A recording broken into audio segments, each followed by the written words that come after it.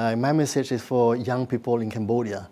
I like to share my own experience and how I became a scientist, how science uh, is everywhere in my life. When I eat, when I sleep, when I play, science is everywhere. And I'm quite happy being a scientist because actually practicing science and living within science is a matter of attitude.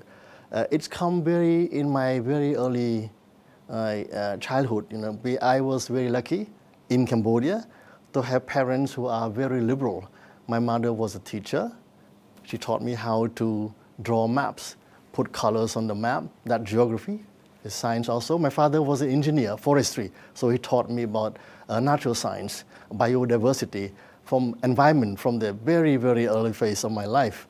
And I study medicine, so therefore I use chemistry, physics, uh, mathematics, and I choose a specialty that is very scientific. It's called radiology in the past. Medical imaging, you have heard what ultrasound for babies, CT scan for the head when you have a head trauma. All this is about physics and the human body anatomy. Um, I work on experiments using mice. I work on a clinical research looking at diseases in a human being, how to detect diseases. And not only I use science in my practice as a physician uh, in Canada, in Europe, in Singapore, where I taught for almost 30 years. Science also, I, I think, permeate all my activities during holidays. For many years, I was obsessed by a study of an ancient skeleton from museum, from burial site. I study Egyptian mummies. Very interesting to look how mummies from the past, uh, disease what they have. Uh, I published a book on that. So my, my wife always asks me, why do you do this kind of thing? It's about a passion about science. Uh, science can be also applied to many other fields outside medicine. I was uh, doing uh, research on the history of medicine at Angkor under King Jayavarman VII, and I did archaeology also, medical archaeology. So I used uh, principle of science to excavate those medieval hospitals that were built in the 13th century.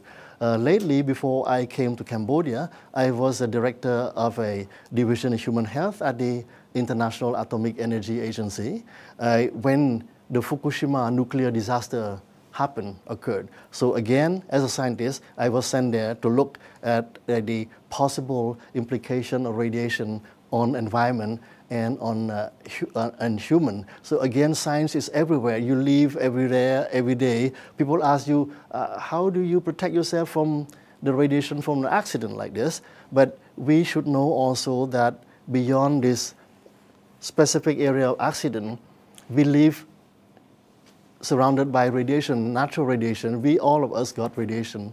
When you fly from Phnom Penh to Siem Reap, from Phnom Penh to France, you get cosmic radiation. So if you don't understand science, it's difficult to co comprehend uh, uh, what is going in your life because technology is everywhere. You look at your, your, own, day, uh, your own life, for example. Before you go to sleep, what is the, the last uh, object you touch? Is your cell phone. In the morning, you wake up, sadly is not your partner, but your cell phone that you touch first. So this is one thing. When you go to eat, uh, you know, food uh, safety is an issue in Cambodia because sometimes it's not that good as we expected. So food chemistry, if you understand the science, you understand better. Uh, so how uh, would you help young people to enter Uh, scientific uh, career in the future? I think it's a role of a parents first before they go to school. You, you can expose your children, you know, go to this kind of a science museum. I agree that we don't have that in Cambodia. You can look at YouTube. There are many virtual uh, technical uh, and uh, science museum. Fascinating. Uh, I saw on, on TV here you have program on discovery, National Geographic. When I, di I did the excavation in, in Siem Reap and in the Cardamom Mountain looking at ancient skeleton, we did a, a, a, a kind of documentary for National Geographic. So in some science, it's very exciting. You can use science uh, as a career. I make a living practicing science, but you can use science to understand the world around